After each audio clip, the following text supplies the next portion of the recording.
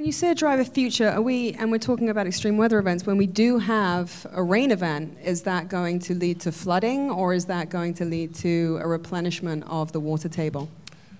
That's a very good question. It, it can do both things. I mean, the, um, the, the projections for California, so it's interesting, the, the projections for southwestern North America as a whole, the best climate models are quite in agreement. They don't always agree on things, but in this case they agree that, that southwestern North America, which includes uh, you know, Arizona, New Mexico, uh, Nevada, as well as northern Mexico, is projected to get drier as the, as the climate warms. It's quite a, a, confident projection and it's quite serious. California is slightly different, and actually, um, the, the, climate is, has some different influences from the Pacific Ocean. And so the projections for California are that the, the, the rainy season, which is the winter, will actually get wetter, although shorter, a shorter rainy season. Uh, and uh, and a hotter, drier summers.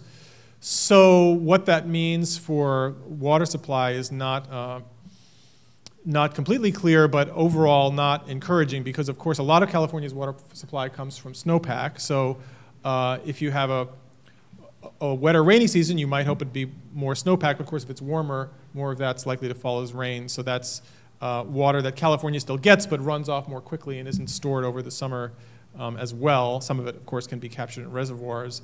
Um, and uh, the overall rise in temperature means that more water that hits the ground ends up evaporating into the, into the air. So overall, um, you know, there's some uncertainty, as with all, all climate projections, but um, there's no reason to think that California, looking forward, doesn't have a need to uh, conserve water, as even in the present.